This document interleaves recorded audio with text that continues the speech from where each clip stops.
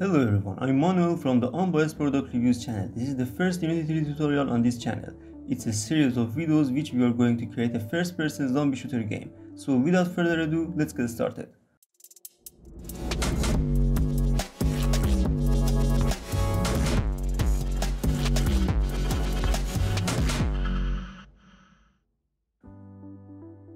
We have an empty Unity project here. Let's create a folder and name it scripts.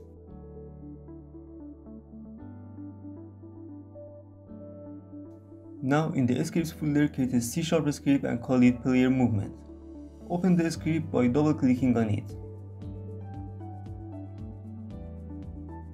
First we need the character controller which is the Unity's built-in class for controlling the player.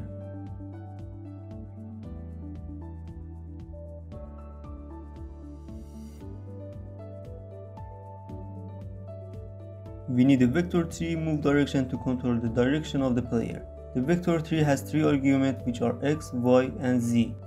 We declare a float speed to control the speed of the player. Now we declare three floats to control the jump functionality of the player. They are gravity, jump force, and vertical velocity.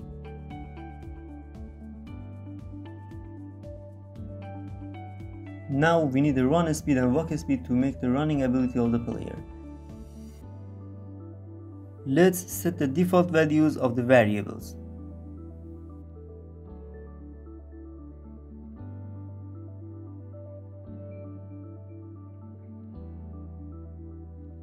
In the awake function, we make the walk speed equal to a speed and get the character controller component that is attached to the player game object.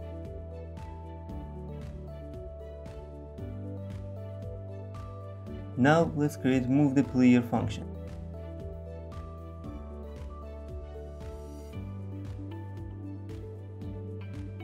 We need to set the direction of the movement by get the values of user inputs. Unity has a built-in feature to get the horizontal and vertical axis. You can see the axis name in Edit, Project Settings, Input Manager. The x of the move direction is horizontal axis and the y is 0 and the z is vertical axis.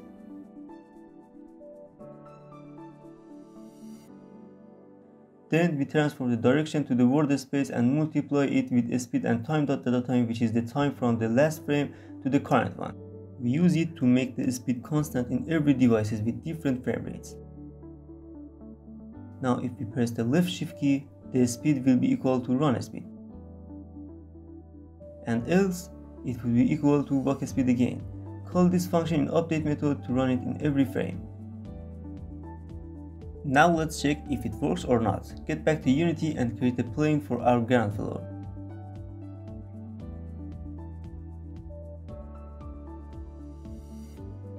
I prepared a Unity package that contains textures and sounds. You can easily download these from the internet.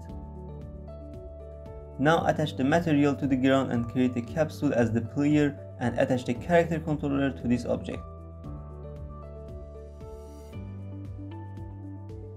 After that, add player movement component to it. Let's click on the start button. As you can see, it's not working because we have an error in our code. We had too much closing parentheses here, and we need to tell our character controller to move towards the direction we have. Now let's check again and as you can see, it's working now. So I'm going to make the jumping part of the code. Write apply gravity here and declare the function with this name too. In this section, we are going to check if the player is on the ground or not. The vertical velocity decreased by the gravity multiplied by time dot delta time. We don't want the player has ability to jump when it's not on the ground. The y direction of our move direction would be equal to vertical velocity multiplied by time dot delta time. Now let's create the player jump. Here we will check if the player is grounded and we are pressing the spacebar with input.getKeyDown. And if it's true, then we make the vertical velocity to be equal to jump force. Okay, save the code now and check if it's working or not. It's important to check the game and make sure if everything is okay because it's easier to debug your code. As you can see, it's working. Now create another script and name it MouseLook.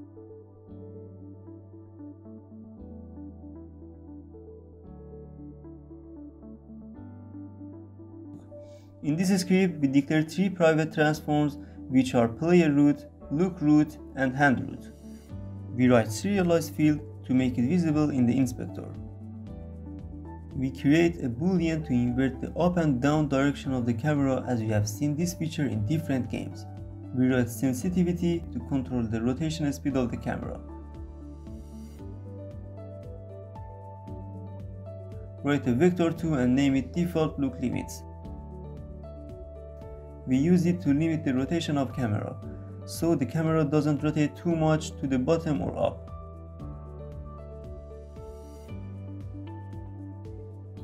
We write look angle, current roll angle, and last look frame to use them later in this code.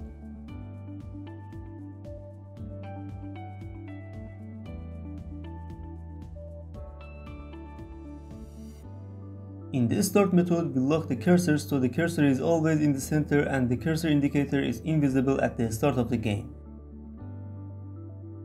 Let's declare the lock and unlock cursor function.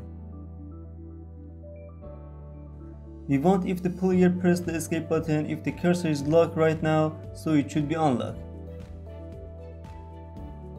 And if the cursor isn't locked, we want the cursor be locked and make it invisible. Okay, now let's call it in the update method.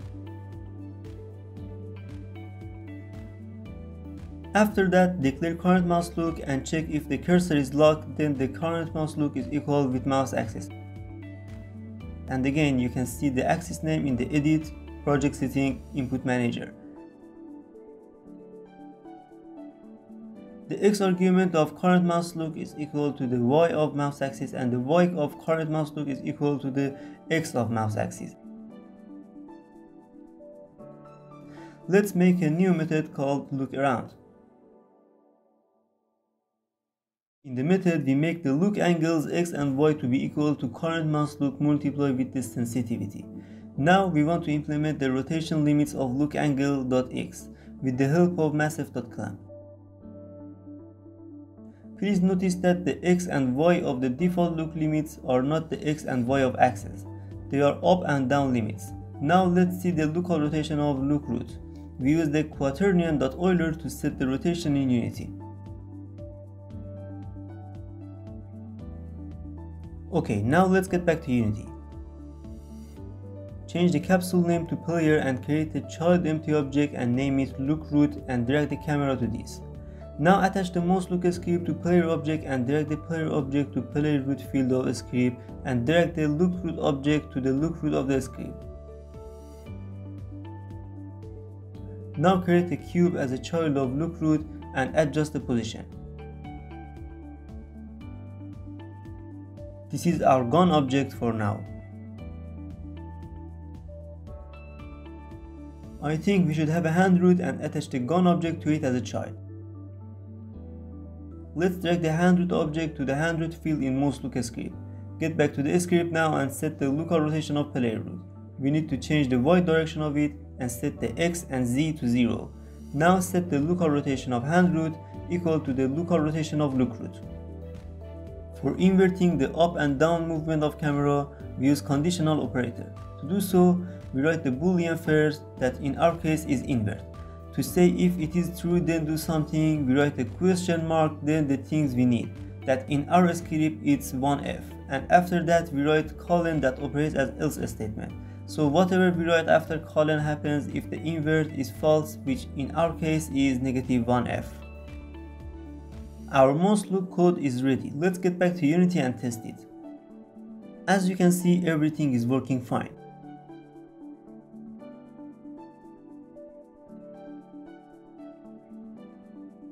Now create another script and name it shoot. Open the shoot script. We declare a private float and name it next time to fire and set it to 0. We use this to set up the fire rate of gun. Make a serialized field float and name it fire rate. Now let's declare the camera and name it cam. We need a game object as shoot origin. we can call this game object shoot pose. We need to set up the range of the gunshot. We need an impact effect game object as well as muzzle flash particle. In the update method, we need to check if the player press or hold the fire one button, which is left button of the mouse, and if the time.time time is greater or equal to next time to fire, then we should set the next time to fire value to time.time time plus the inverse of fire rate. Now we create a shooting method and play the muzzle flash particle. We make a raycast hit and name it hit. If the physics.raycast that comes from the shoot position and goes in the forward direction of camera and save the heated object as hit and the length of the raycast would be equal to range, then check if the collider of the heated object is not null, create an impact game object that instantiate the impact effect in the position of the point where the ray hit the collider with the rotation of the normal of the hit point. We need to destroy this game object. I write particle system for impact effect which is wrong. We need to change this to game object. If the hit object has rigid body component then add force to it in the opposite direction of the hit.normal with the force of impact force. Ok, get back to Unity to check if it works or not. Attach the script to the player game object, set the fire rate to 10 and drag the camera to cam field. For shoot position, we need a new empty object in front of the gun.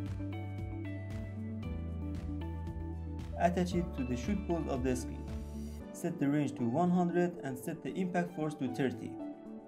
For impact effect and muzzle flash, you can get the free Unity package in the asset store. Just search muzzle and check the free assets, then download the War FX asset.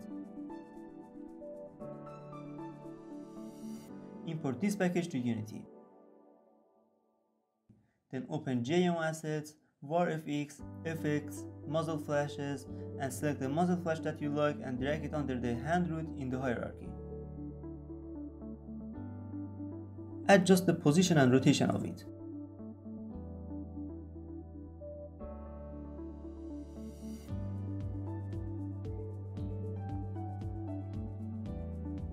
Disable the light object and disable the loop and play on awake and set the duration to 0.3 on every children and the parent itself.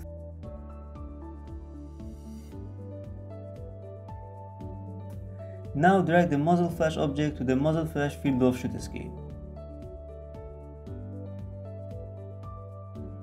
Now check the game and see that the muzzle flash is working good, but the 0.2 for the duration is better, so change it to 0.2 and test again.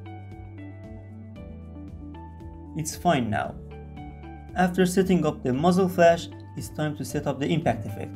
So get back to effect folder and go to bullet impact folder and choose one of them and drag it to the impact effect of the shoot script. Let's play the game to see how it works. It's not working because it is destroying right after the instantiation, so we should add time for destroying it and we destroy it after 2 seconds. Get back to Unity again and check this. It's working fine. We need our gun has a shoot sound too, so get back to Visual Studio, create a serialized field private game object and call it shoot sound. Copy the impact go and paste it. Change the hit dot point to shoot dot transform and rename it. After that, destroy the game object after 2 seconds. Get back to Unity to test it. I'm going to use the shoot sound that I've already downloaded from the internet. Just drag the sound to hierarchy and drag it back to the project window to make a prefab of it. Now drag this prefab to shoot sound of the script. Hit the play button now. As you can see it's not working, so get back to Visual Studio to fix this problem. I forgot to change the impact effect to shoot sound. After changing that, get back to Unity and test it. And this time it's working fine. So that's it for the first video and if you like it, please hit the like button. In next videos, we are going to make the health script, zombie AI and lots of other features like spawning enemies in the game and reloading the mag. So please subscribe and hit the notification bell to notice when we publish the next video. So see you in the next one.